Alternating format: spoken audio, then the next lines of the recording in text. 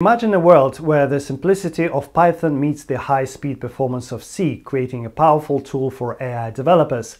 Welcome to the world of Mojo, a new programming language that is about to revolutionize the way we approach AI development. In this video, we'll explore the ins and outs of Mojo, its unique features, and how it is set to democratize AI programming. Before we'll dive deeper into the subject, please give this video Emperor's thumbs up, subscribe for more, and toll the bell so you won't miss anything. And don't forget to check the links in the description under the video, where I left a lot of useful sources for you. Let's go. Mojo is claiming to be a revolutionary new programming language designed to democratize access to AI development. It combines the usability of Python with the performance of C, aiming to overcome Python's speed constraints while maintaining its user-friendly syntax and extensive libraries. Mojo is a superset of Python, meaning Python programs are valid Mojo programs, although some Python behaviors haven't yet been implemented. As a result, developers can leverage their existing knowledge of Python while enjoying the performance benefits of Mojo. Mojo is designed with several unique features that set it apart from other programming languages. It is significantly faster than Python, with benchmark tests suggesting it is up to 35,000 times faster. This speed advantage opens up new possibilities for developing high-performance AI-powered web applications. Mojo is also compatible with AI hardware, leveraging multi-level intermediate representation or MLIR to scale across various hardware types including GPUs running CUDA without adding complexity. This ensures portability across several hardware platforms and specialized accelerators, making it a great choice for applications that need to run on a variety of devices. In addition to speed and compatibility, Mojo introduces new syntax for system-level programming features, chiefly manual memory handling. This allows developers to write Python-like code for casual use cases then use Mojo for more advanced, performance-intensive programming scenarios. Mojo's syntax is heavily influenced by Python, making it easy for Python developers to transition to the new language. For instance, a Hello World program in Mojo looks exactly like the one in Python, Hello Mojo. Mojo supports let and var declarations which introduce a new scoped runtime value.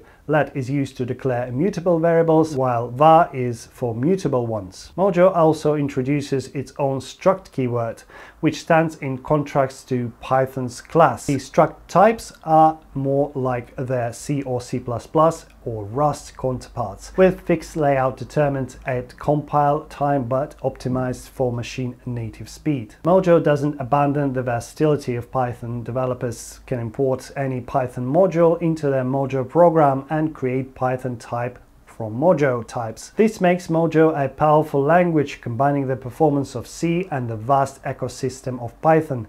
However, since Mojo is focused on performance, it might not support all dynamic features of Python. There are many opportunities for Mojo developers. Mojo is well suited for developing machine learning applications, analyzing large datasets, performing complex statistical calculations, and developing high-performance web applications and games.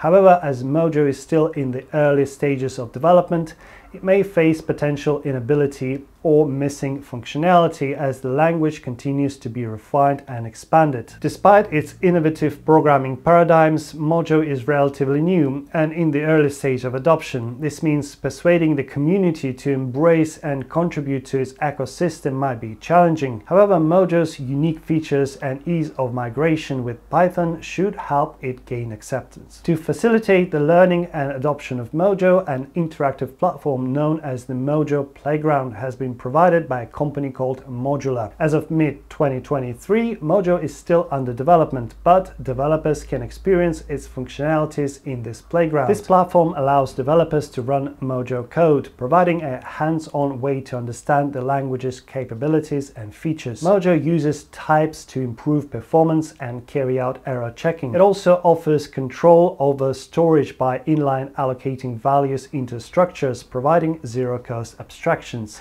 This feature enhances the language's performance and makes it easier to identify and correct errors during the development process. Mojo features an ownership and borrower checker, which ensures memory safety without introducing complications. The feature is crucial in preventing memory leaks and other memory related issues that can affect the performance and reliability of applications. In addition, Mojo introduces auto tuning, a feature that can automatically find the best value for your parameters. This can drastically streamline the programming process and optimize the performance of your application. Mojo includes a built-in tiling optimization tool that effectively caches and reuses data. This tool helps optimize performance by using memory located near each other at a given time and reusing it. This feature is particularly useful in AI and machine learning applications where large amounts of data need to be processed efficiently. Moreover, Mojo introduces inbuilt parallelization, enabling multi-threaded code execution. This feature can increase execution speed up to 2000 times,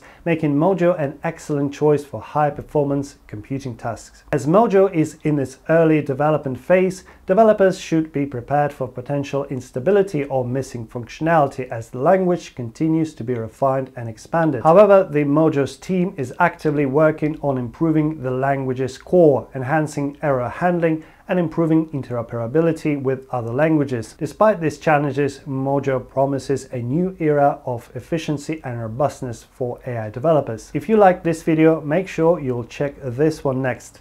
That was Ave, and I'll see you in a bite.